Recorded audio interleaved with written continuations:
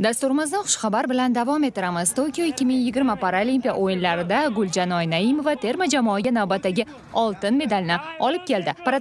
bo'yicha ayollar o'rtasida 58 kilogramm vazn toifasida ishtirok etayotgan hamyurtimiz guljanoy naimova final jangini yakunladi ushbu bosqichda sportchimizga braziliyalik sportchi raqiblik qildi unda hamyurtimiz sakkizu to'rt hisobida g'alaba qozondi shu tarzda guljanoy paralimpiya o'yinlarining 8 oltin medali egasi bo'ldi hamda terma jamoa hisobidagi medallar sonini 19 to'qqiztaga yetkazdi